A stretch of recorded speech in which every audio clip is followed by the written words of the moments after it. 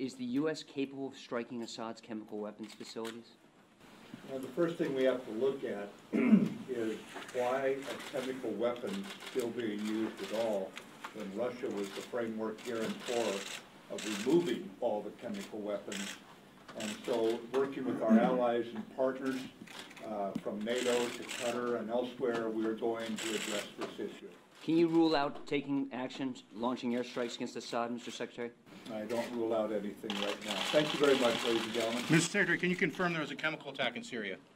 Over the weekend,